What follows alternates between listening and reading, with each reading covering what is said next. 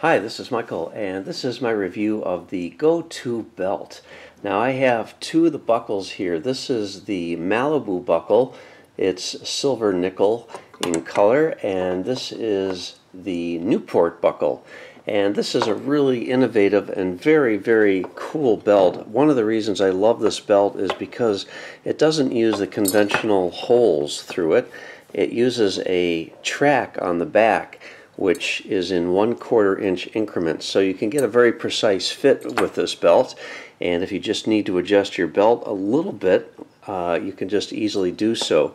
Um, the belt fits into the buckle very securely and there's this uh, little lever here that has little sharp teeth on it and you stick the end of the belt in there and clamp this down and it is not going to slip out of there. There's no way.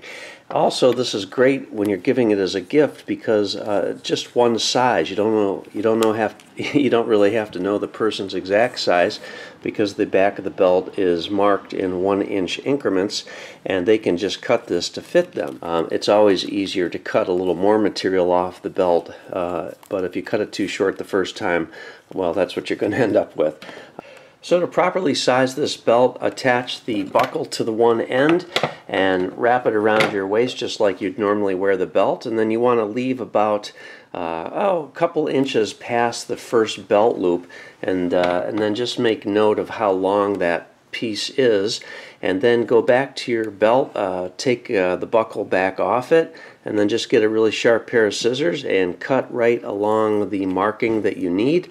And if you're in between a mark that's perfectly fine as well. And then the way the buckle goes on is you just insert that cut end into the end of the buckle and flip this little lever down and push it down firmly. And that is in there for good uh, well until you release this but it's very very secure in there and it will not slip out. Uh, this is the black belt. It's top grain cowhide uh, it's a very flexible belt. It's not really thick and stiff like some of the more inexpensive belts that you'll see out there. And um, there is the indication that it's top grain leather.